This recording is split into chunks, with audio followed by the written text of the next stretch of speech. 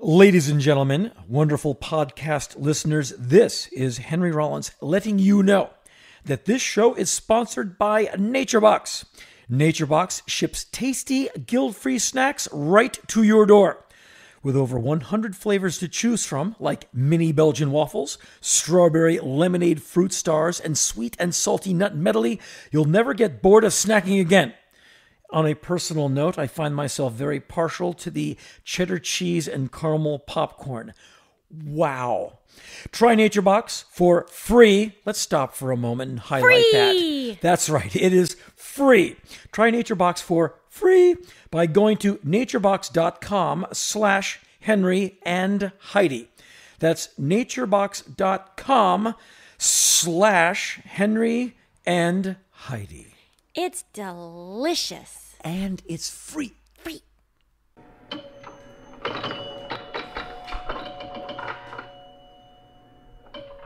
I, I have no idea what this means to you. Pinball. Yes, but as far as meaning it, to, to begin a podcast, like they, the wonderful listener turns the podcast on, and they hear Roger Daltrey getting the inspiration. That's what I was thinking. And Townshend working together like we should. We need to write a song Exactly. about a guy who's a wizard, isn't he? And then Elton John comes out with his big shoes Yeah, But, and goes into Pinball Wizard. but before Elton, it was just them blokes, isn't it? Ah, that was all, an awful imitation of a British person. and in some of these sound effects are really weird. Like it goes from this like into a car wreck, but it still says pinball. So I don't know what to tell you about that. But anyway, um, let's fade that out. Uh, wonderful listener. My name is Henry Rawlings, and I've learned how to say that without laughing. And the other voice that you just heard is Jaime. Heidi and I. We go eat at a place usually Monday mornings by like nine twenty or thereabouts. You can find us rolling into a really nice place. Uh, Heidi is usually an iced tea person, but she's also a coffee person. And I've told you about this before. She is like, order some coffee, which means, oh, Heidi wants coffee. So it's Heidi's coffee, but I'm drinking it. And one time I'd sipped some, and the lady was like, would you like a refill? And She looked over, the, the, Heidi looked over at the nice lady and said, yes Please. please. so anyway, Heidi has this diabolical drink, which she swears tastes good. You've heard of the Ar- Ar- Arnold Palmer, which I don't know what it is. It's something and something. Iced tea and lemonade. Okay. Heidi May, we called it the Heidi May until we come up with something better. she'll she'll knock off about half of her iced tea, and then she'll say, "Pour some coffee in." and at first, I thought she was kidding, and I, I said, "That that won't taste." good. "No, I that's what I want." And she took the hot coffee and poured it in, and she starts drinking it. I'm like, ugh. And she said, "Oh, It's delicious." delicious. Just see, perfect. and so now, when she can remember, she gets the iced tea. She finishes half of it, and then she asks the the nice person if they have iced coffee. And the guy will come over like, "Oh, this is you had tea." She's, "No, no, no, no, no, no, no, no, no. Put in the coffee."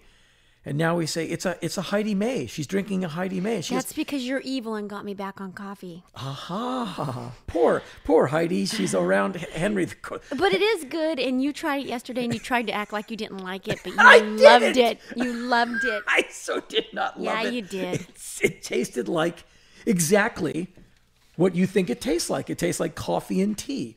It comes in like tea, but it ends on coffee. It's just like no, no, no, and no. I love it. It's the Heidi May. It's the best of And both worlds. I reckon, oh boy, I reckon before September, she's going to put away a few barrels of it if the heat keeps up like this. So, thank you so much for tuning in, and thank you so much for your cards and letters. We have gotten a lot of requests. We write them down and we utilize them. So, thank you for doing that. Heidi, do you have anything that you want me to expound upon today? Yes, but I want you to promise me one thing. Yes. Before we don't throw up. No throwing up? Why would I throw up? What do you mean? You were up all night trying Oh. to beat back your barf. Oh, gee, I love the alliteration on that. Beat back the barf. That's a t- that's that's a t-shirt. Last night around 0312, I was having weird dreams about Johnny Thunders and the Heartbreakers, having just watched a bit of a insanely good and you know sad documentary called Looking for Johnny about Johnny Thunders and the New York Dolls. And I, you know, those dreams you have when your body's saying, wake up, wake up, wake up, wake up, where they make the dream so unendurable, not scary, just like, this is really stupid. I dreamed that I had to pour Heartbreakers songs out of a pitcher into cups to listen to them. And it was very difficult to do. Basically, my body was saying, wake up, you have business to do. So I woke up and I'm covered in sweat and I'm hot and cold and hot and cold. And I said, wow, as he now affects a Glaswegian accent, I think I'm going to puke. And so as soon as I stood up, everything in me said, oh, you are going to hurl, which is just one of the worst feelings that you actually get kind of good at as an adult. As a kid, it terrified me. Like, oh no, I'm going to convulse. But as an adult, you're like, oh, here we go again. Hug a tree and I didn't know we were going to spend so much time on this. well, you brought it up. Well, I just don't want you to do it while we're podcasting. beat back the barf, beat back the barf. And so I was up and down, up and down, aching like I, I received a Singapore caning until the early hours. And here we are now. And so I told all this to Heidi May. And she, the first thing, like, oh, do you feel, do you feel okay? No sympathy. Like, you're not going to barf, are you? I asked you, should I make an appointment with a doctor? Because something's up. You've been sick for a couple weeks. And then and you're never sick. and then you're not going to barf. so anyway, I Heidi, I will do my best not to not to barf. Okay, good. Yeah, okay. anyway, so Heidi May, Yeah. if you have anything you'd like me to talk about, lay it on me. Well, I hope we haven't made the audience sick at this point. No, Um, they're sturdy. well, I thought it would be good, and we've gotten tons of requests to talk about the Rise Above album. Okay. In order to understand Rise Above, which is, we're talking about Rise Above 24 songs to benefit the West Memphis Three. That was a benefit record that I worked on insanely hard. Heidi was the octopus woman answering like 80 phone calls an hour. She was the, basically, you were the EP on that. You were the executive producer. You were basically kind of the nexus. Yeah. Everything came through you. Mm-hmm. And without Heidi, we wouldn't have made the record, or we may have made it, but it wouldn't have really been nearly as good because Heidi has great organizational capacity. Like she knows how to produce. Like she can get it all in one place and get people to show up. You have to be tenacious, which, uh, oh boy, that's why I have all the lines in my face is because she's tenacious. Anyway, in 2000, 2001 or thereabouts, uh, our sound man, Daryl, Daryl said, I taped this off HBO. There's a documentary that you need to watch. And it was Paradise Lost Part 1, I believe. And it's an HBO documentary on the West Memphis 3. In the summer of 1993, May, in Robin Hood Hills in uh, West Memphis, Arkansas, three eight year old boys were found murdered and three teenage boys, Damien Echols, Jesse Misskelley Jr., and Jason Baldwin, were made for the crime.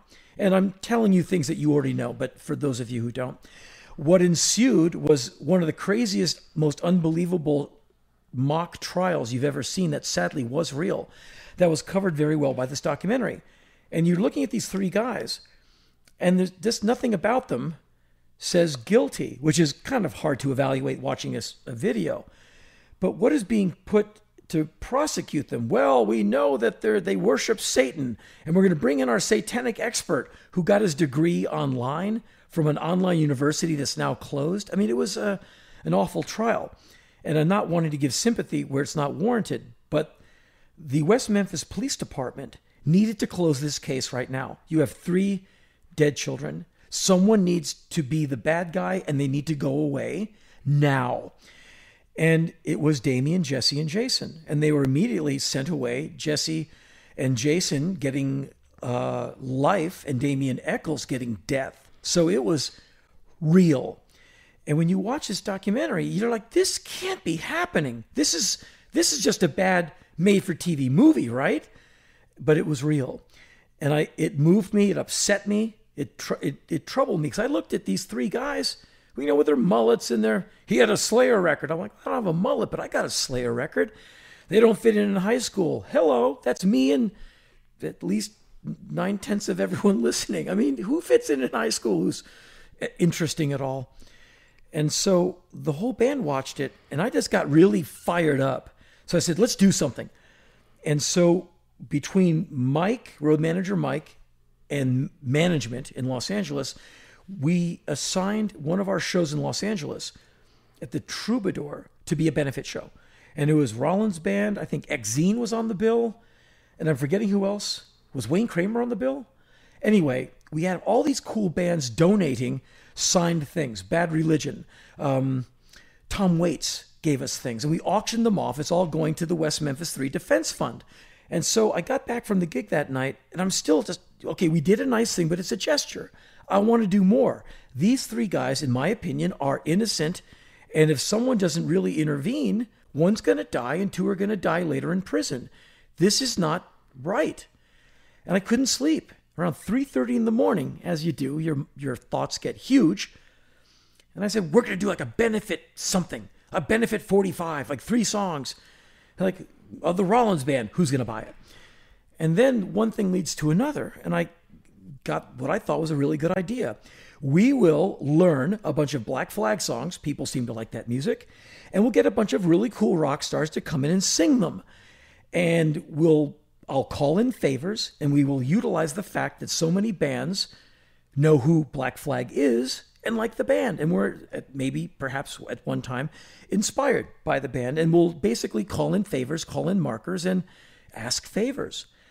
And so I go to the office the next day and I tell everyone at the office, and everyone said, Yeah. This was a time when Heidi was not working at the office. She was doing other stuff. What were you up to again? I went back to television for a second. Right. So she was in TV production.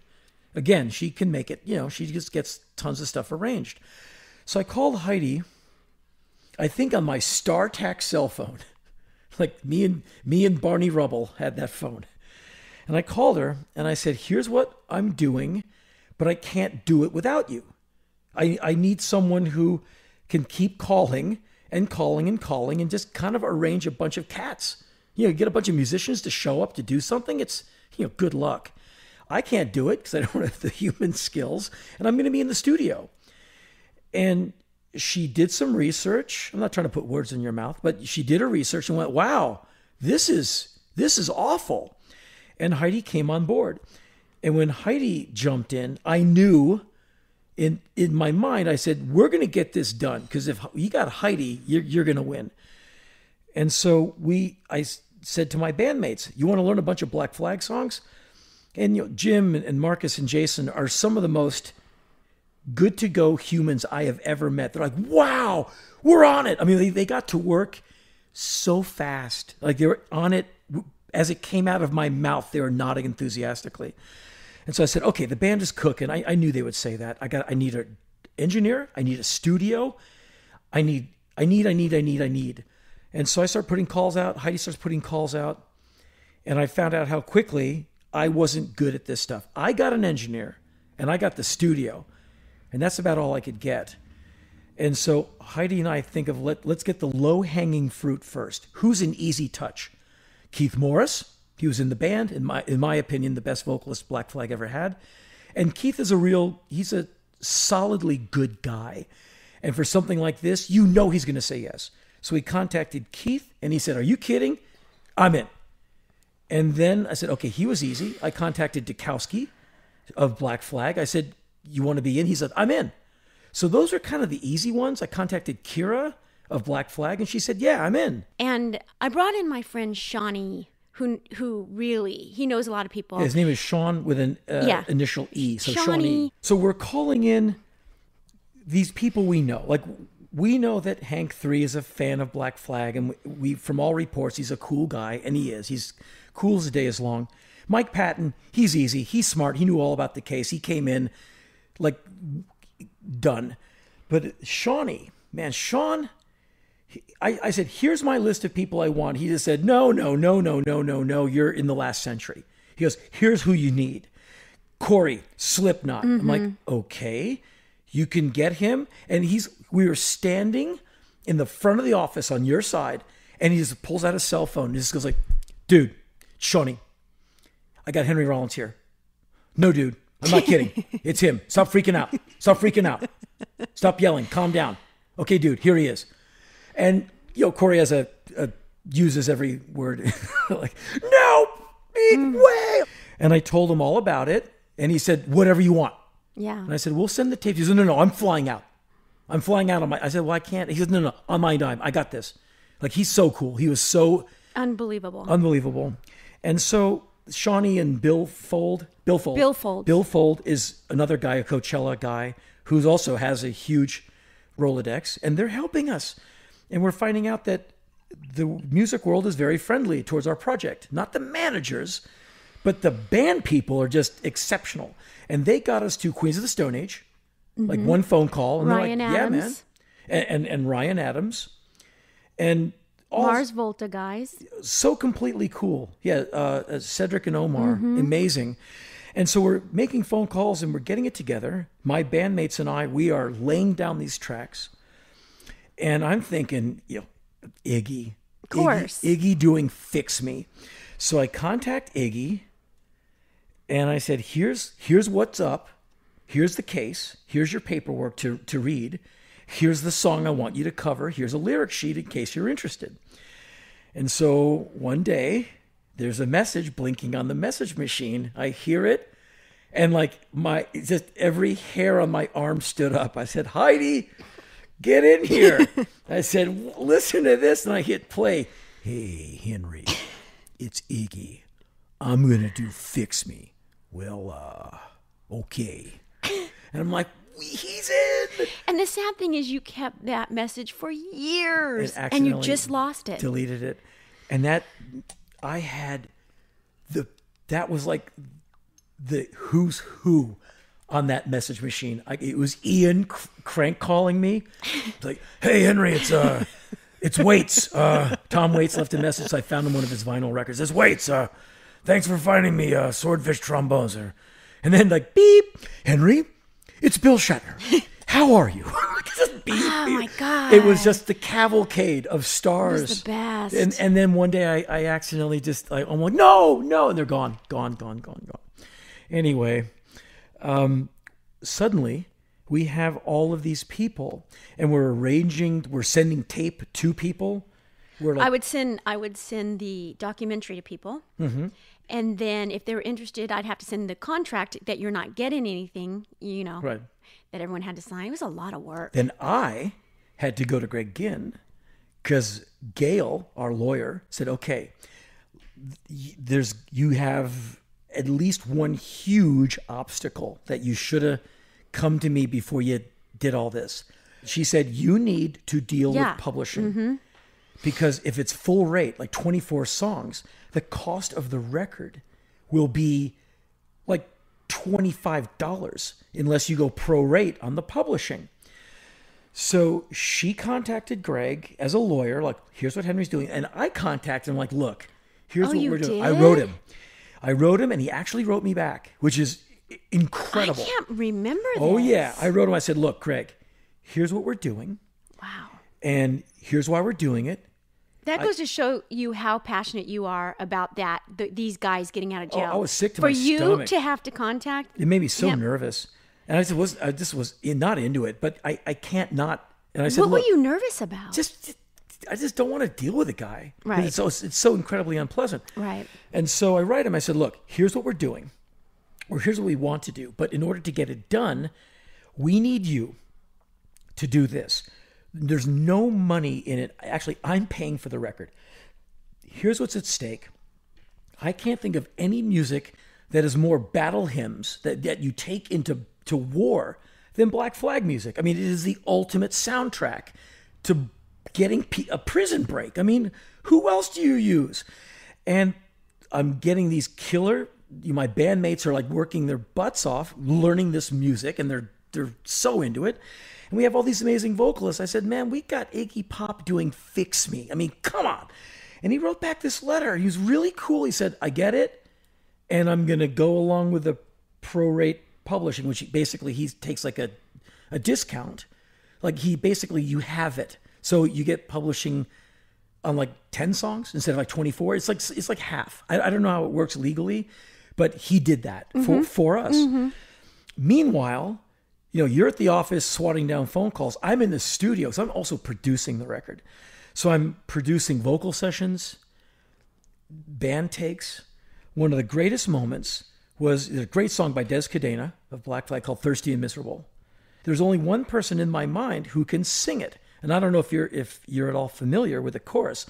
Thirsty and miserable, always wanting more, thirsty and miserable. It, it's a melody that I think there's no other person to sing it besides Dez other than Lemmy of Motorhead. Not because it's about drinking, it's just because his voice fits the melody. And and I, I think maybe Dez had kind of written it as kind of a Motorheadish song, but it's not about the song's about alcohol. But I didn't want to go to Lemmy, hey, it's about drinking, you drink, because a lot of people drink. But I just heard him in his Lemmy voice going, thirsty and miserable, and just crushing it. And so we called Lemmy, who's like one of the more stand-up guys. He's just a he's an excellent human. He's one of my favorites. And I said, "Do you know about this case?" He said, "No." I said, "Can I send your people some stuff to read?" And he's a big reader. He read up and he said, "Yeah, I'm in cuz you're asking me, Henry.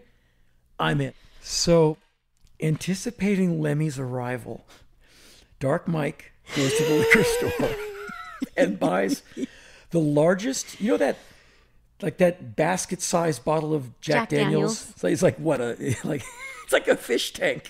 Huge. he buys that bag of ice, Coca Cola.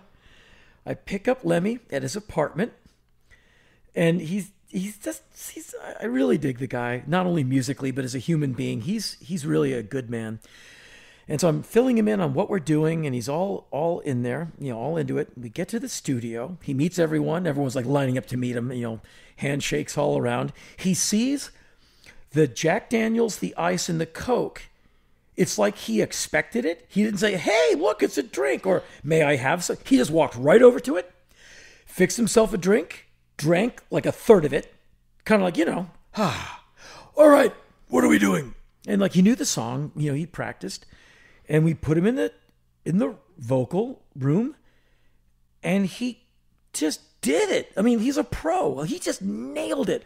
And I said, "Hey, Lemmy, just for kicks, do you mind like trying it again?" He's like, "Yeah." He did it again. He doubled the chorus, which I don't know if we used or not, but he's like a consummate professional. You didn't have to walk him through it. You didn't have to go, "Okay, Lemmy." He just went in and just hit it. Then he hung out with us for a while. We played him other songs on the thing because we were so proud to play it for people. And he, he had had a couple of drinks, hung out with us. We did all did photos. He was very cool about it. And then I took him back home, and I, I it's I feel really bad about all this because Heidi said when Lemmy's in the studio, promise you will call me so I can show up. And I said, you got it. And I completely spaced out. Thanks. And she is she was mad. Well, I didn't go to the studio for anybody because I was too busy at the office doing all and that, that was a Saturday work. session. That's why it was a Saturday session. I could have I could have gone, but somebody forgot. Well, I'm sorry. anyway, that happened, and so a lot of things like this happened. And I, I know that we're talking about the making of the record a bit long, but it was so awesome the way the studio Cherokee said, Oh, they were cool to us too. Oh, so cool. They're like the Robb family. They're like the nicest people. They said, okay, we're giving you the studio at like cost Mm-hmm. plus like, you know, electricity because we don't want any money. We love what you're doing. We love you because I did so much recording there. Black Flag recorded there. I, you know, I, I've been in there so many times. They said, and one of the Robb brothers, the owners, he was our engineer, and he goes, "I- "I got this. Don't worry about it. Just you know, give me a sandwich at lunchtime." He's like the nicest guy, and they just came. They just came in and said, "Whatever you need, you got it." But we got employees we need to cover. I said, "Yeah, of course." So they gave us a studio for next to nothing, free engineer. Um, we were talking to you know, Dark Mike is like, "Hey, string company, can we get some strings for this project? What do you need?" And everyone just came in like the coolest. And so we're ripping through these songs. Singers are coming in and just laying it down. Tom Araya comes back from tour. He said at one point, I'm going to be on tour 21 more days. Give me one day to kind of recover, see my kids, and I'll come in. Like 22 days later, he walks in. Hey, you guys, I'm Tom. And like, you're in Slayer? He's like the nicest guy. I, I don't think I'd ever met him before. He's like, hey man, this is it, it's a raw deal what these guys got. I said, would you mind? You got three of your fans in prison. I got three lyric sheets. I want to send them of the song. Would you sign them? And he signed them for each guy. And I said, you are gonna, you're really gonna pump these guys up. He does. He he said, okay, you ready? I'm like, are you ready? I gave him the lyric sheet. He goes in there and just annihilates it like perfect. It's not my imagination. I'm like, my hair stood up. I'm like, he's doing it. And then I said, just for kicks, you mind? It's like a 40 second song. I go, do it again. He's like, yeah, sure. Uh, we did. We used the first take, I think, and he did it again. Great. He's okay. Uh, I gotta go. Uh, I gotta go. I'm like, okay. He had to go like do you know some errand. Shook his hand, did some photos, and he took off. And they were all like that. Queens of the Stone Age. Everybody. Um, the Mars Volta guys. They came in. They hung out Ryan Adams. Eh, you know, Corey? everyone gave their time. Yeah. Corey flew in. on his own dime. paid paid for his hotel. Stayed at like what? One of those nice. paid at the hotel down the street. yeah. And, the standard. Yeah. And what we did because we couldn't pay anybody is we would let people come over and take merch, you know, get in the van, Yeah. sweatshirts, whatever they wanted. They came and, and took and But the generosity that was extolled upon the project was better. I, I didn't know what to expect, but I didn't expect that. You got it, man. I know. Whatever you need. It was awesome. So, Cliff Norrell, the great engineer, and I are mixing. Forget where. Skip Saylor's or, you know, we're mixing just go, go, go. We have like a 24, 23 songs to mix or 24 songs and like no time because like we're running out of, you know, the fund and, you know, the, the budget. And we're going, going, going. And we're like just making it happen. Like, are you tired? Yes. Can you keep working? Yes. We just did it. Our eyes are crossing. Meanwhile, we get to the last song we're going to mix, Rise Above, which is the first song on the record. Arguably, in my opinion, one of the best songs I've ever heard in my life. It's just, it is bomb proof. It's perfect on every level. And so we're mixing it, and those guitars come on, that crazy feedback, man. You just get, you just want to jump out of your chair. And I heard this voice in my head. I heard, to me, the voice of ultimate justice. Chuck D of Public Enemy. There is no voice like that I have ever There heard. There really isn't. There really isn't. It's so the bottom it's line. giant. Yes. It's like this cavern. And I said, Chuck's got to start this record. And I had this idea West Memphis, Arkansas. Doo! The feedback comes on. I heard it in my head. So I contact Chuck, who, you know, we're pals. And I contact, I said, Chuck, this is so, la- you know, no notice. Here's what I need. This idea pop. I'm not trying to just say you were like some weird thought at the last minute, but I just hear this in my head. This record it, it, it's a it's a fuse and you're you have to light it. The first song is like that drums. I go it's you man. And here's what i want you to say. So i'm telling you what to do and i need it now. Yikes. And he wrote back in like five minutes. I wrote him from the office i think. And he said i got it. I know about the case. I'll be right back at you. Peace out chuck and the next morning we're going into mix and there's a, a, a thin FedEx envelope on the front porch of the office. It is a CDR, which I still have here somewhere, of Chuck D doing those lines every like 12 different ways. And I brought it to Cliff, and we heard, we're like, check you out, man. You are the man in a pinch. I mean, he just came through. When I first heard it, I got the chills. Oh, I, I almost, whenever I, almost- I it, lost my mind. I, I almost start crying whenever I hear it. Like when Chuck comes in, I get really, really emo. and so we we picked, you know, one of the early takes was like, what? That's the one. We heard them all, but the one like take three was like, that's it. We fly it into the mix. We move it back. And I go, no, no, no, a little higher, like a couple of hi hats, and then drop it. And so we dropped it, and then Cliff said, like, how about a little like echo? I'm like, yeah. And we played it. I said, play it again, play it again. I made him play the intro like like ten times. I was just so thrilled of how at how good it sounded, and that like 36 hours ago we were sitting in those two chairs thinking, hey, let's get Chuck D, and like boom, he's on the record. And I wrote Chuck. I said, man, you you have elevated this record to it's now it's now finished. Now with you on it, we are done. So that was 2002. We started work on that around uh, uh, May, mid May. In How long did we work on it? Because I just remember. on and off for weeks. I remember on. working on adrenaline, and then when it was like done, needing a day off. Yeah. Well, just- you were on the phone all Was day. Was it like six weeks? Like Something it was really Well, short. th- yeah, but the thing that the tracking took only a few days because those guys are monsters. But it was getting all the singers. Like we had to ship tape to Hank Three. Getting back contracts was We had to get tape to Mike Patton because he recorded in his own studio. Like tape was moving back and forth, and contracts were you know taking their sweet time. Anyway, we we got the record done, and so that's 2002. And I thought we better tour and make some money on the road. Take these songs out, get the record out, promote the hell out of it, and play every gig we can. And all the money is going to go to the West Memphis 3 Defense Fund, to the lawyers, to get new evidence and, and whatever else. So in 2003, we practiced up. Uh, a tour from Tempe, Arizona to Tokyo, Japan was booked. And the, the we had the, like, the American leg, and then the European leg, and then the Australia Japan part, the Pacific Rim part, I guess, or whatever. And so for the first part, Keith Morris, the, the American part, Keith Morris comes out. And we kind of, he does like a, a six or seven song set at the beginning of Keith era songs, nervous breakdown stuff. And then I come out when they, with, they play Rise Above. We have two mics. He walks off stage. I walk on stage. The music never stops playing. And everyone's like, yeah. And, um, you know, Keith went out there every night. oh my god. He's He's, a- on fire. he, he was on fire at sound check. Now, hey, uh, can we do this song for sound check? And you know, the mother superior, like, yeah. And I'm looking at him like, save it for the show. I mean, the guy is, is in fifth gear. Like Keith, Keith, Keith. It's so fun to watch. he is amazing. I mean, there's no, there's kind of on off with that guy. Anyway, he was amazing. The tour was great. Well, you know, sold well. Jello Biafra came on stage oh, in San. Francisco and sang "Jealous" again, and just was incredible. He sang it so well. Anyway, we leave for Europe. We do all these European festivals. It was great. It was insane.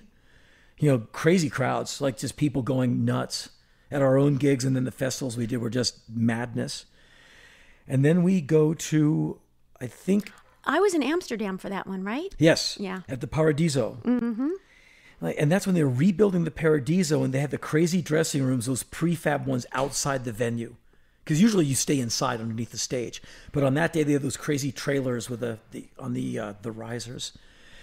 And Heidi was uh, visiting the tour in Holland, and she saw the show, and so we kept on playing and playing, all the way to Tokyo, Japan. And that was the last show of the tour, and we it was a great you know packed packed venue, played really well, and came home with a bunch of money. Uh, Dark Mike, the road manager, had a really good idea. He said, And we call him Dark Mike out of pure love. "Yeah, We love him. But when he you goes don't dark- want you do not want to make him mad. Yeah, don't do Get it. out of the way. And so anyway, um, before the tour started, he goes, "Okay, you need to be unimpeachably politically correct on this tour." I said, "What do you mean?" He said, "You can't get a penny off this, so I'm not even going to give you per diems." He said, "The guys are going to get salary. You know, you got they have families and rent, Sure. and you know the bus driver has to get paid, obviously." He said, "You, you're getting nada, like nothing. Are you cool with that?" I said, "Absolutely." And that way, no one can say you did this, which I was accused of later. You can't win, No, you can't win. no matter what. So anyway, there was one poignant moment that I think is worth talking about on the American tour. It was the most poignant moment of the entire tour as far as on the ground playing. We are in Memphis, Tennessee, near West Memphis, Arkansas, at the Daisy Theater, the new Daisy Theater. It's a really nice venue. And the owner, I'll I'll spare everyone. I won't mention his name. He's not a bad guy, but he he got some threats. He got nervous. He got real nervous. We got death threats. oh I, I had to do press every morning and you you you know they give you like a one minute lead in i'm doing those morning shows so i'm sitting in like in my underwear at the front of a freezing air conditioned tour bus at like 5 a.m to talk to you know big head roadkill and whatever the morning guys at some station and i hear them talking about me before they lead me in. Well, we got this devil worshiper. Uh, he he hates children because he's defending three baby killers, jeez. and so his name is Henry Rollins, if that can be believed, and he's going to defend his point of view right now. Well, good morning, good morning, Mister Satan. You're like, wow, and I'd have to diffuse and neutralize the guys so we could just talk and go, okay, here's what you didn't know. And that takes up like three of the five minutes. And here's why we're doing this. Well, Henry, that, you know, I still have my doubts, but I, I understand what you're saying now. I'm like, okay, okay. So we don't have to call Henry uh, Yeah. the, in league with baby killers and all that. But it, that was almost once a day. We'd get that kind of morning radio. And the email we would get, yikes. Yeah. And incredible and, you know, personal threats. And so we get to M- Memphis, beautiful city, wonderful people. And the owner of the venue contacts Dark Mike. Oh, no. He said, I, I want to cancel the show. We are getting threats to the venue. Mm-hmm. The ticket vendors are getting threats. Like, if you sell a ticket for that show, we're going to burn your place down. So they're not selling tickets to the show. So it's going to be walk up. A picket has been promised. They, people are going to picket the show. I want to cancel it.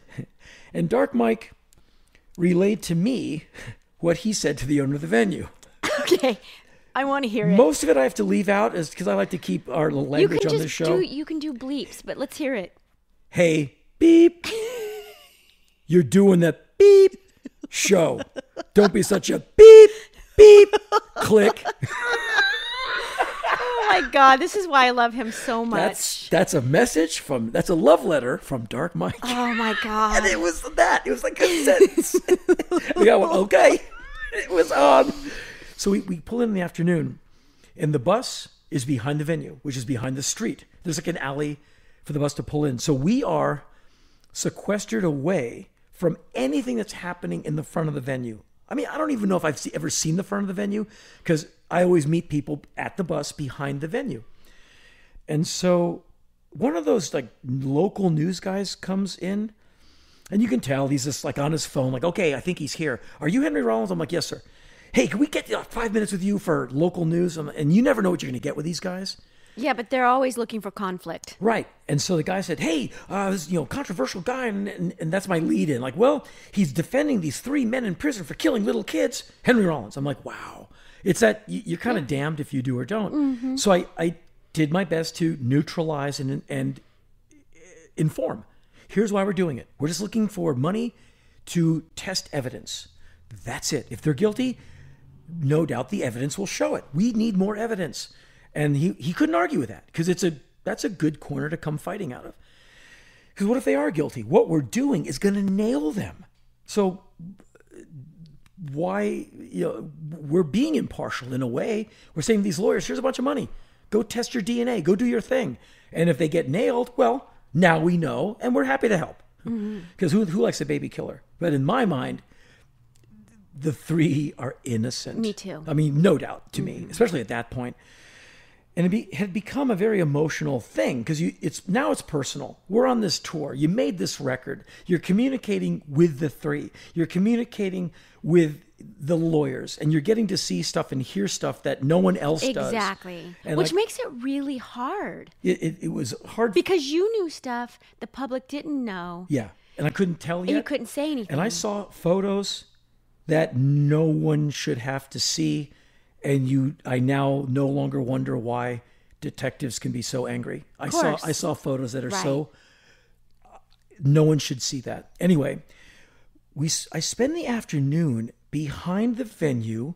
People are coming in just like punters, like walk. Hey man, I went to school with Damien. He's really cool. Everyone knows they those guys didn't do it. Man, you guys are righteous. Like, oh thanks. Get it. Buy a ticket. Buy a T-shirt. Like you know, we need money.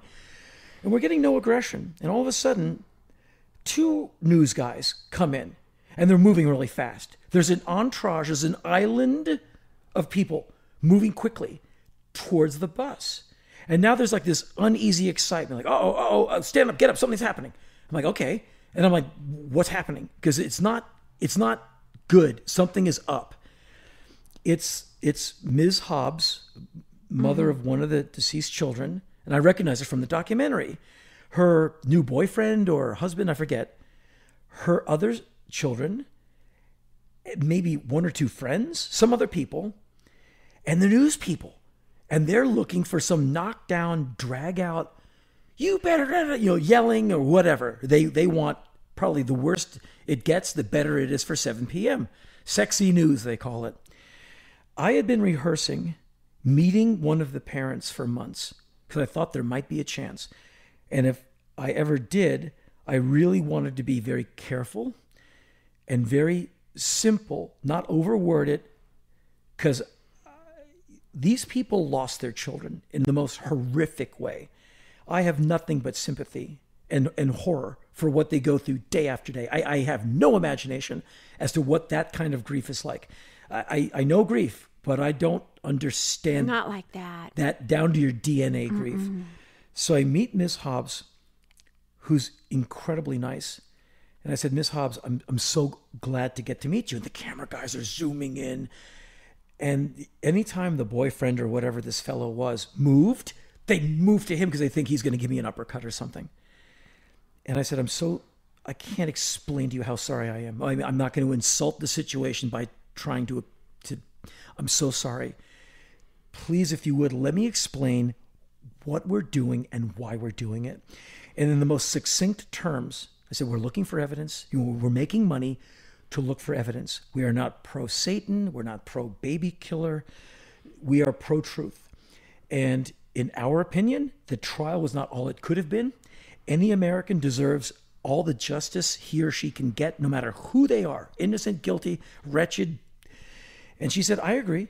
And I said, okay, we are raising money so the lawyers can test evidence, affidavits, witness testimony. That's all. If we are upsetting you in any way by doing this, I understand and I can't apologize to you enough. You've been being dragged through this for years. I'm so sorry, but this is what we're doing. And she said to me, I'll never forget, she said, Well, God bless you. I understand. Thanks for explaining. And personally, I've never been sure about their guilt. And I mm. said, okay, mm-hmm. so we have some room for, we can have a civil conversation. It is summertime, Tennessee. It is so hot. Like we're standing there sweating, talking to each other. You just stand outside and cook.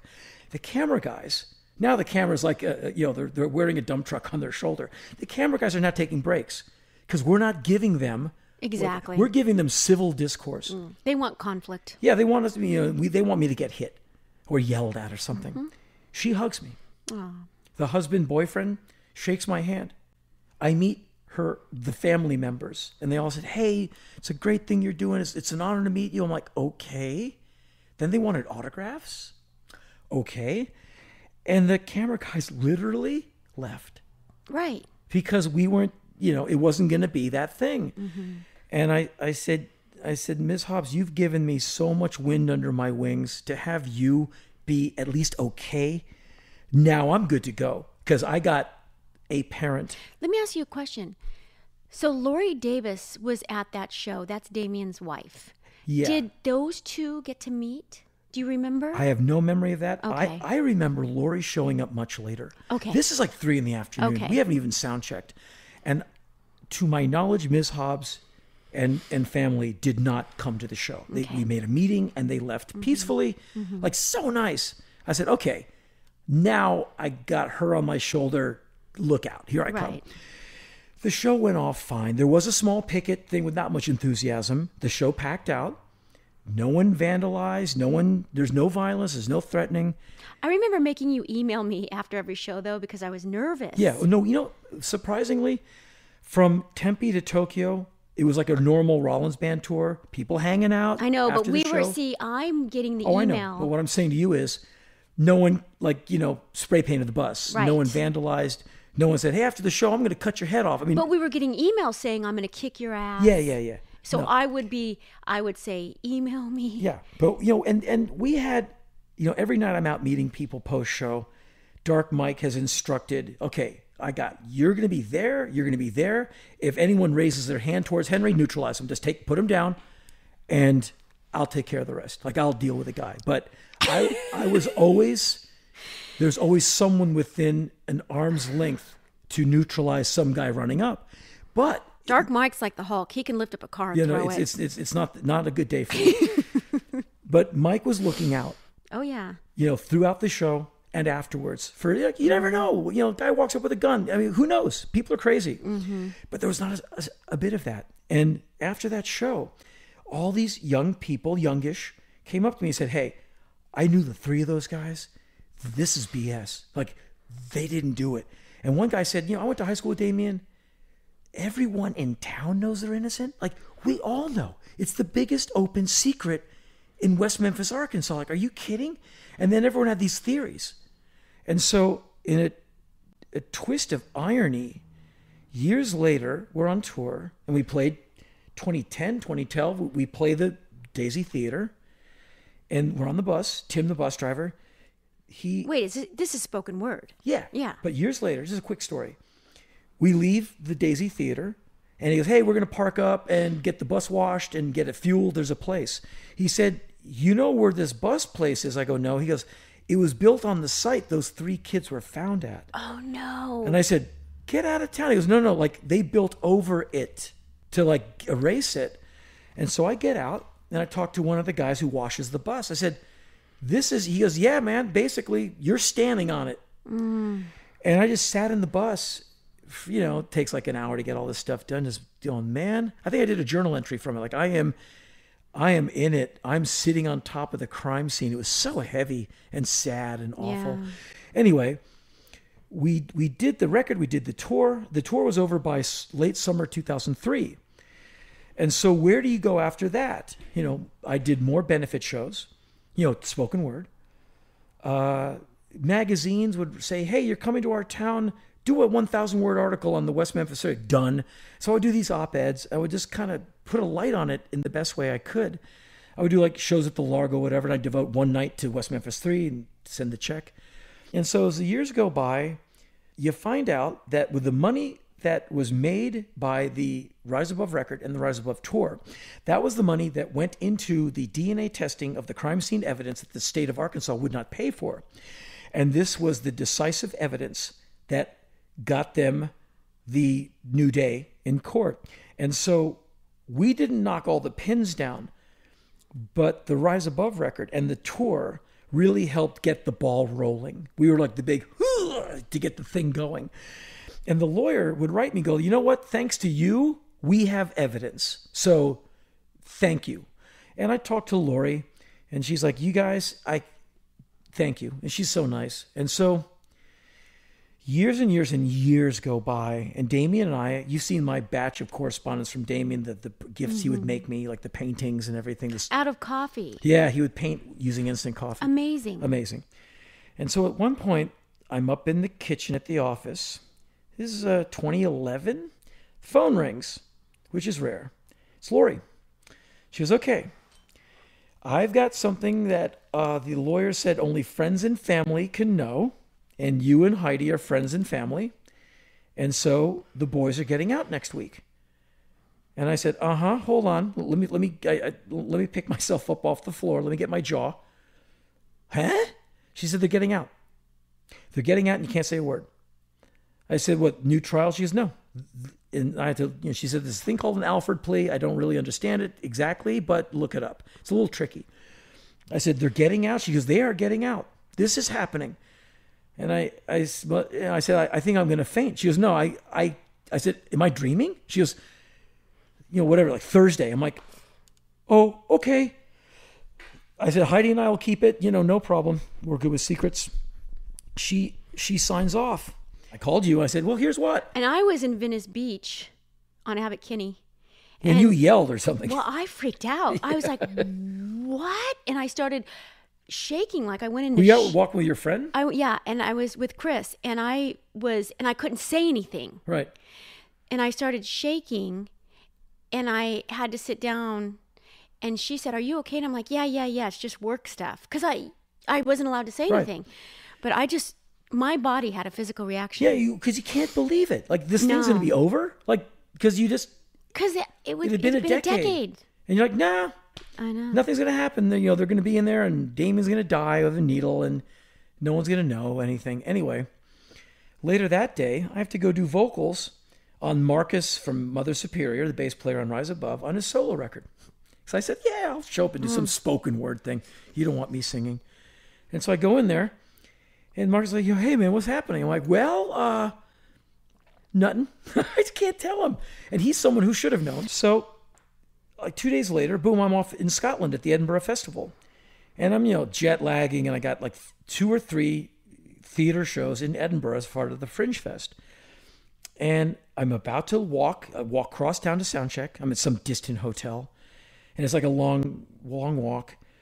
And I, I'll check the email one last time. So I go to the company website, and I hit the mail. There's, I'm not exaggerating, there's like 25 emails. Dude, they're out. West Memphis 3 out. CNN.com. Check it. I mean, obviously they're out because we just got bucketed by email. So I go online to CNN.com and I watch the press conference. I'm like, and I'm sitting. I'm so glad I was sitting. I was numb. I'm like, wow, there's Damien with shades on, being like this cool, kind of bored hipster. And the other two are really earnest and they they were out. And then I had to walk to the venue. I had to go. You know, I had sound check and a very big show and all this stuff. And so I'm walking, jet lagging with the traffic going, you know, quote, the wrong way, where, you know, guy like me just gets run over. So I had to be really careful uh, to not, to not get run over and to not get lost. My head was so, I'm like, do I talk about this tonight? I don't know enough. I haven't prepared. I, I no. And so I said, I won't say anything. I'm just going to go do the material and the stuff I prepared because I'm not ready to talk about it. It's just too too much. I would have would have rambled and been a maniac. And so the well, the whole time I was there, I did like two or three shows. I didn't say a word because I couldn't articulate it yet. Because like I just couldn't believe the the iceberg had melted. I mean, I, I never thought it was going to happen. And then later on, I eventually met up with Damien, which was a great day. And I always told him, I said, I, I don't come to visit you unless you want. If you want me to, I'll show right up. But here's why I haven't thus far. I don't want to meet you through some glass or in a visiting room, in, a, you in a uniform with your laminate where you have to go and I leave some box. I want to meet you, two free men in the free world, eye to eye, because you're not a guilty person. So I'm not going to meet you in a place where guilty people hang out if you don't mind. And he wrote back, he said, Man, I get that. I said, If you want me to visit, I'll fly there tomorrow. No problem. You were adamant about that because I remember in the early days I said, "Why don't you go down there and meet him?" And you said, "I'm going to meet him on the outside." Yeah. I, I just want to look him in the eye and just like, here we are. With all those constitutional amendments are ours. And it took a while. And it happened in New York at the main branch of the New York Public Library, one of the most beautiful buildings ever. I'm in the hallway because we're going to do an interview in front of a sold out huge auditorium. And Lorri comes in first. I hadn't seen Lorri for a while. She goes, okay. He's downstairs talking to some people. He'll be up in a minute. Can't wait to meet you. Are you ready? I said, Man, I've been ready since 2001. And he walks up and we hug each other and he grabs me by my head and kisses me on the cheek. he went, he went, "Mwah! I love you, man. I said, Yeah, damn, Damien. And here we are, just like I pictured it. Mm-hmm. Two men in the greatest city, you know, eye to eye. I, I said, This is what I wanted. And he said, Yeah, I get it. And we did the interview that night in front of like this, I don't know, tons of people. And he is funny, intelligent, incredibly intelligent, articulate like you're jealous. You wish you had a tenth of it. And here we are now. And, and they, I don't, I, Damien or Lorri, one of them will write me every few months. They're living in New York somewhere. They're having a life. I mean, they're crazy in love with each other. And Damien's writing and doing his thing, and Lorri, I don't know what she's up to. But you know, they're they're living their lives, you know, two married people. And I don't know what Jesse and Jason get up to. They have a well, as far as my radar, they have a, a an incredibly low um, uh, reading. I, I don't know where they are, what they're up to, because Damien was the one I, I kept in touch with the most. It was one of the most I don't know how to describe it. One of the most involving experiences of my life, where I kind of went in, like, okay, hey, we'll do a show, we'll do a record, and it ended up being like, like ten plus years of being emotionally involved in something, and I've never had an experience like that that comes close. I have nothing at all to compare it to. Nothing. Right. And the fact that there's, you know, all of this is bittersweet. Like the guys eventually got out of prison, but they gave their Their youth was taken from them. Yeah. And bad things probably happen to them as it will happen to a young person in prison that long. I, I don't know, but who knows? And and and they they didn't do it. And there's some people out there who did an awful thing to three beautiful little boys. I mean, your mm-hmm. heart breaks when you see these kids. They're just just fantastic, happy, you know, just oh, it's awful. So there's there's hardly any good parts. There's like the part that that hurts a little less. You know what I mean? Like they got out, yeah, after nearly 20 years, but there's still all the parents of the deceased who are like in ag. Are you kidding? And the right and the person who did do it has not paid right. for it. And, he's out there. and he's out there or they're out there who whatever. And and it's just hasn't the wrong hasn't been righted like not any of it. And the fact that the three guys got out that's kind of like a band-aid on a massive wound. I'm, I'm happy they're out. But justice was not served. There are adults in arkansas who know. Mm-hmm. They know they did wrong. And so there's your story. And it's more frustrating and sad and infuriating than it is anything else. Uh, on the good side of things, it was great that we were able to make the record. Great that it was so good, and we did. I think we I think we knocked it out. Well, to me, it's one of the most important things I've ever worked on. Yeah, for me, it might be Probably the most important the thing most I've ever important. worked Yeah. I, I'd have to agree Yeah. with you. I mean, because the rest of it, it's all me, me, me. entertainment. Yeah, This is- you're benefiting yourself. This You- was something else. yeah, you're going. Uh, it's not about you. Well, it's funny because I started working with you in 96 or 97. Who knows? I don't remember. But then I left to go back into TV Mm-hmm. because I was offered money. That, this, you calling me, What are you trying to say? you calling me to come in and work on that album is how we came back to working together. Mm-hmm. Well, I was only away for what, a year? Something like that. Yeah.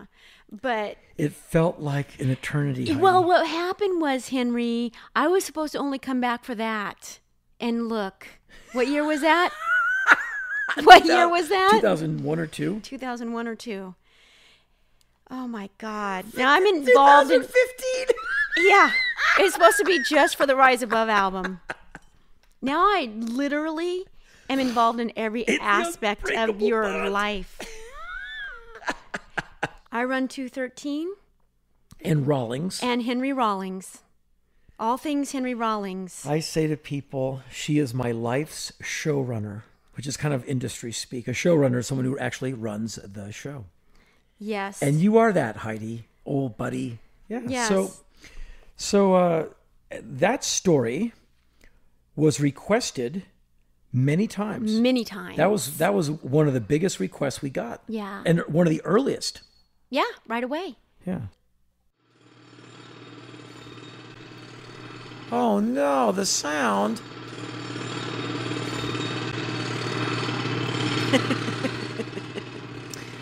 Heidi came into the office today with a massive headache. Ah. How is that headache? It's not that good. I still have it. So a sound like this. Ow! You're evil. I love my job. It is now time, you know that sound. It is time for Heidi's headline. I love this. Oh yes. Oh, oh yeah, okay. Oh, this is great. Oh, we're to have some fun. and this Hei- Heidi's headline is fresh off the press. A company worth 2 billion dollars asks Henry if they can use his image for 2 years and $2,000 to sell their product. Henry schools them about getting real. Okay, you did you hear that sound where Heidi May goes slightly nasal? That is when Heidi May is sincerely laughing. That's when she when something is so funny even she cannot stop it. Okay.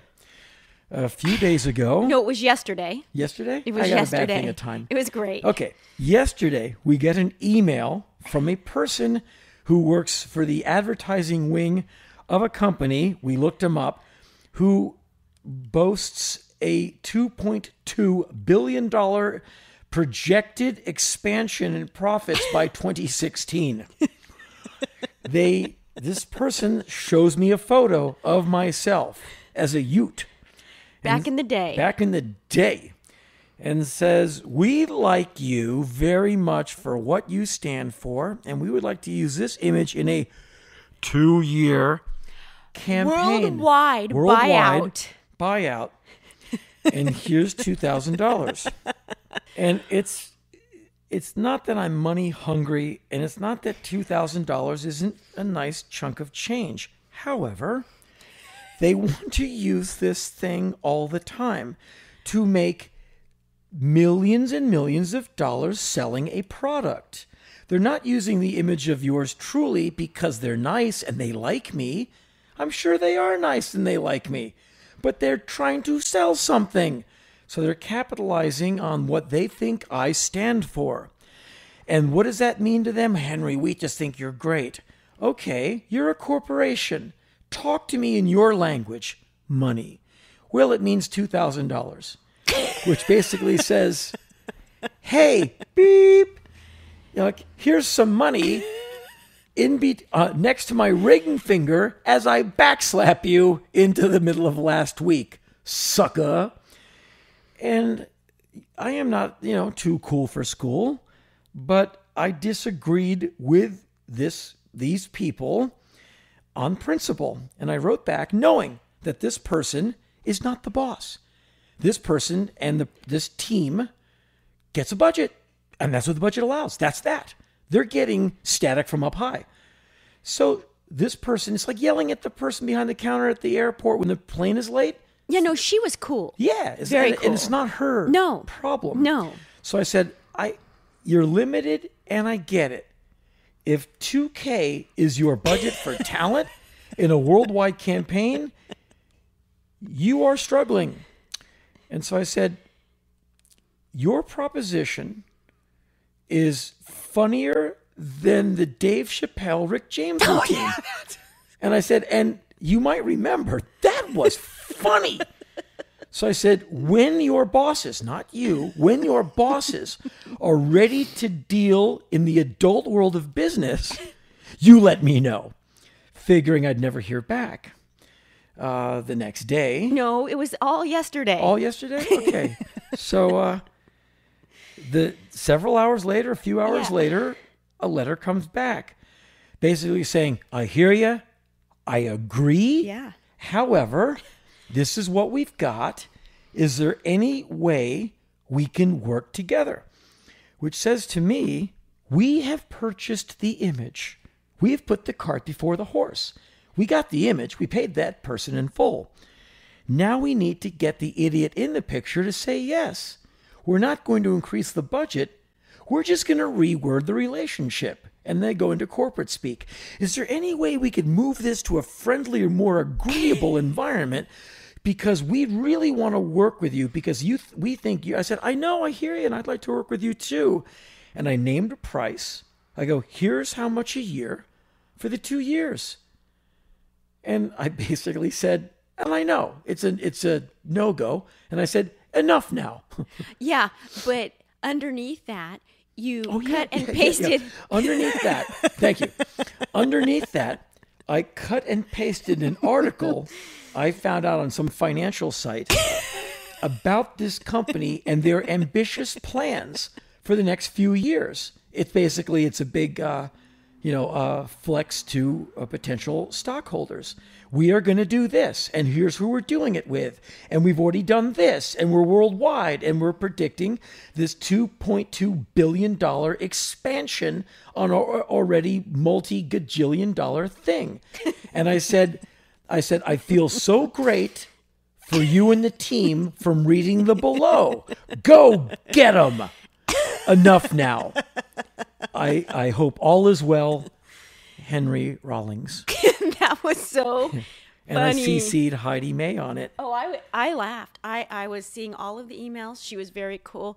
But man, Because it's not her fault. No, it's not. She's just doing her job. But Yeah. the audacity of this giant corporation. But that's how that's how the how, it's like shoo fly, yeah, shoo. it- it- it's how you stay rich. You just treat people bad. it's uncool. yeah. Now, period. I don't know.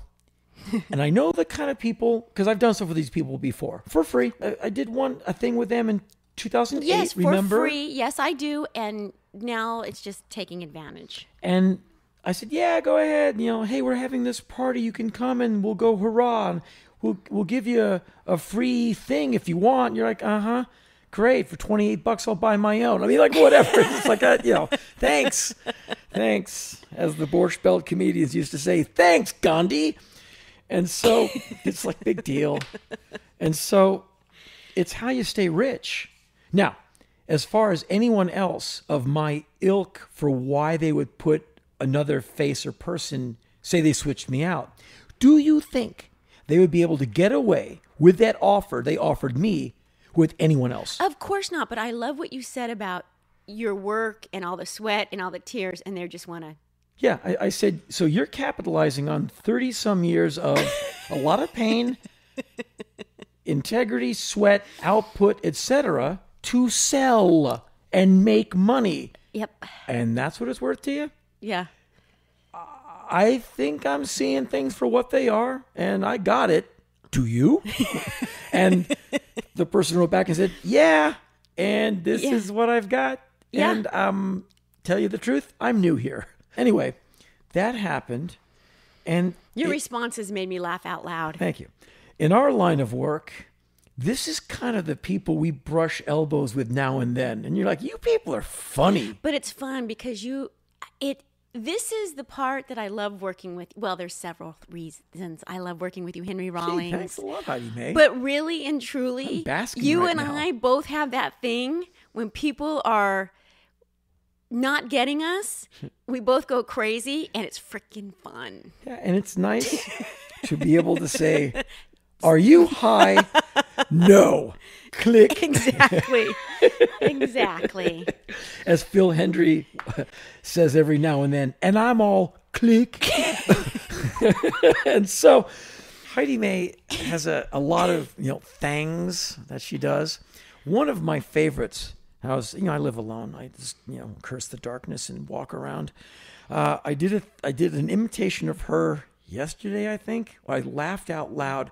One time, I think with her, how do you do it? With your first two fingers and your thumb? Oh, the hawk? Yeah. ah, no, don't. Ow, ow, ow, ow, ow. Stop it. Ow. Like that. Yeah. You have to go like that. Okay, th- thanks. if I did that back to you, everything on my desk would hit the floor. And I'd so, clobber you.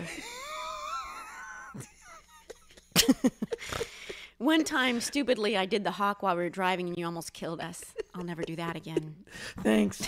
The drivers of Southern California all collectively thank you and breathe a sigh of relief. But anyway, I was trying to, I think I was on the treadmill and I was trying to do the hawk out loud.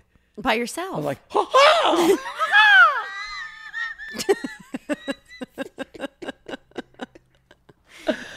I don't know why it's Where's so the fun- I don't know why it's so funny to me, but it is. It really is. I can't stand. Ah! Ow! Stop it! Stop it! Ow. What? That hurt my ears. Didn't do That hurt my ears. Oh, sonically, that's fair enough. Whatever. That, that you deserve. Woo! Wow. I, I, I sweated through my shirt. All right. Thank you so much for listening. Uh, Thank you. And a little bit more applause. How's that headache going for you, Heidi? I don't know. I, I feel like I'm a vice. No. What? I'm doing a DJ thing. I'm in the mixy mix.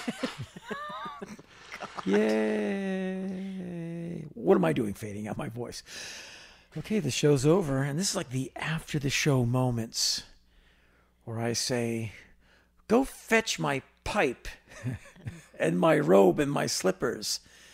And uh, forget it. Well, dear listener, the show is over, and that means it's time to get free snacks at your door from NatureBox. With over 100 options to choose from, get the bold flavors you crave and feel smarter about snacking. Go to naturebox.com slash Henry and Heidi to start your free, may I say that again, free trial. That's free food from NatureBox. That's naturebox.com slash Henry and Heidi. Do it